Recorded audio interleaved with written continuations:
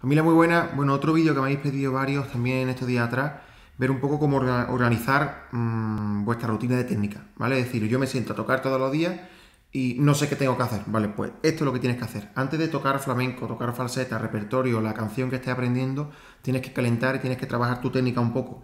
Entonces es muy importante que pases por estos cuatro pasos que te a contar ahora mismo, eh, para que una vez que hayas estado con estos 15, 20 minutos, media hora o una hora, depende del tiempo que tú tengas, eh, te enfoques y ya toques la guitarra. Pero hasta antes de estudiar guitarra en sí, estudia la técnica que te va a venir bien para mejorar tu velocidad, tu sonido, tu fuerza, todo, ¿ok? Así que nos pasamos un momentito aquí a la pizarra y te voy a contar un poco cómo tienes que dividir todos los ejercicios que tú tengas. Ok, vamos a dividirlo en cuatro. Acuérdate que el primero va a ser arpegio o trémolo, el segundo va a ser picado, el tercero va a ser pulgar o alzapúa y el cuarto va a ser el rasgueo. Ahora voy a decirte cómo estructurarlo, pero antes de nada tienes que saber que tienes que buscar en YouTube o buscar entre tus ejercicios, ver y ordenar en ese orden. Primero, los que sean de arpegio trémolo, después los que sean picados, después los que sean, perdón, pulgar o alzapúa y por último los rasgueos. Entonces te paso aquí la pantalla y nos vamos. Vale, como te decía, tienes que ordenar en cuatro partes. Aquí te he hecho cuatro columnas. Disculpa, pero justo hoy se perdí el, el, boli de, la pizarra y estoy escribiendo un poco con la mano, así que disculpa mi letra, ¿ok? En la primera columna hemos dicho que bien tenemos eh, trémolo, ¿ok? Arpegio o trémolo. En la segunda columna tenemos picado. En la tercera columna tenemos ejercicio de pulgar o de alzapúa. Y en la cuarta columna tenemos un ejercicio de rasgueo. Entonces ahora vamos a hacer pues, por lo menos un par de filas. No quiero más. Vamos, a empezar. Venga, pues tienes que buscar por ahí, eh, o en YouTube, o me preguntas, o ejercicios que tú tengas antes. Busca aquí un ejercicio que sea de arpegio. Vamos a llamarlo arpegio 1. ¿Ok? Ese sería el primer orden. Ahora vamos a buscar un picado que tú tengas, un ejercicio de picado, que vamos a llamarlo picado 1. Ahora vamos a buscar un ejercicio de pulgar, que va a llamar el 1, y un tipo de rasgueo que sea el rasgueo 1. Hasta ahí lo tenemos.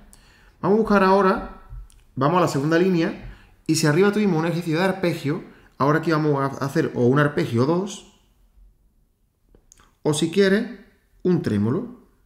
Depende de lo que tú tengas. Si no tienes trémolo, otro arpegio.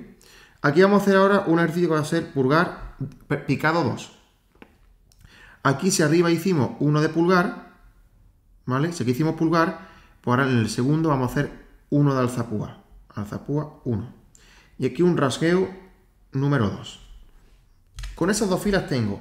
Puedes hacer tantas filas como quieras, pero cuantas más filas tengas, más tiempo necesitas. Con dos filas para mí es suficiente y vas a trabajar muchísimo la técnica. Entonces, ¿qué tienes que hacer? Como tienes en esta pantalla, eh, tienes que buscar un ejercicio de arpegio, un ejercicio de picado, un ejercicio de pulgar y un tipo de rasgueo. Y esa es como tu primera línea de ejercicios. Y ahora te va a una segunda línea. Tienes que encontrar por ahí o bien una, otro arpegio más o un trémolo. Un picado más, un alzapúa y otro rasgueo más. Esos son los ocho ejercicios que yo te aconsejo que tengas. Y decir que yo sé que cada día que me siento a trabajar, a estudiar, tengo que hacer estos ejercicios y a partir de ahí ya o trabajo flamenco, o falseta, o la obra, o acompaño al cante, al baile, o cualquier cosa. Pero esta es como la rutina de ejercicios que yo te aconsejo que tengas para que a diario vayas mejorando tu técnica.